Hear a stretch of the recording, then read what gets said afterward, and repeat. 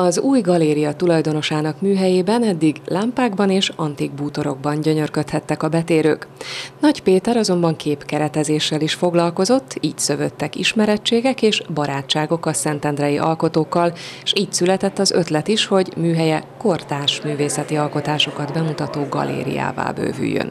Én kezdtem az ötlet, innen jött, és aztán meséltem egy-egy barátnak, és mindenki azt mondta, hogy ez marha jó ötlet, kortársakat aztán is felújítás volt az épületen, hogy egy szét volt szedve a háztetőtől kezdve a pincéig, és hát akkor most átalakult ilyen. Az új Péter Pál galéria nyitására 12 alkotó hozta el műveit. Péter felhívott telefonon, Ugye én ugyan Szentendrén születtem, 40 évet itt éltem, most jelenleg Tahitót faluban lakom, de azért tartom a kapcsolatot, és a legsok, illetve a legtöbb képem ez a Dunakanyarral és a Szentendrével kapcsolatos.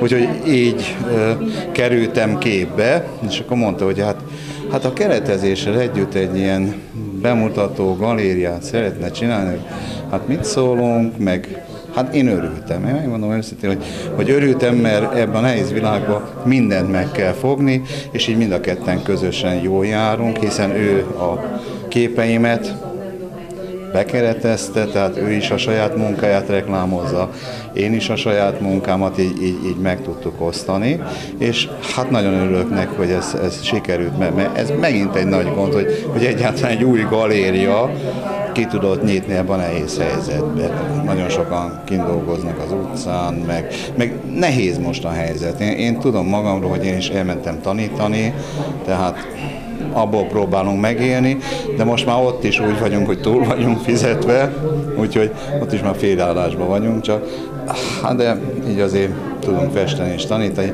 és hát a, a kollégáknak is ez nagyon tetszett, sőt, elsőnek a telefonszámomat, mert Péter nem tudta, a, a kolléga adta meg, és mondta, hogy feltétlenül, János, az feltétlenül hívjátok, úgyhogy én magam ő ennyit tudnék mondani. Volt már ilyen nehéz az alkotók dolga? Hát, talán a kezdetek. Az, az volt, a, a kezdőidőszak volt ilyen nagyon nehéz, mert hát a 70-es években azért csináltunk olyan kiállítást, ami nem volt engedélyezve, meg, meg voltak gondok talán oda tudnám hasonlítani. Tehát most nem is tudom már hány éve, nem, nem tudom megmondani, hogy mikor adtam el például a képet.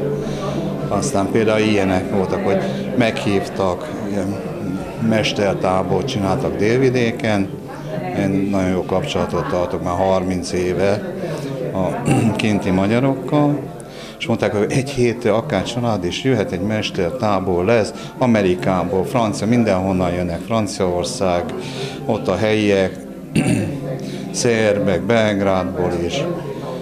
És az indulás napján kaptam egy e-mailt, hogy sajnos olyan a gazdasági helyzet, hogy nem egy hét, három nap, de se útikő, semmit nem tudnak biztosítani. Ha eljövünk, nagyon szívesen veszik, a szállás az megvolt, meg az mondja, ételt adnak.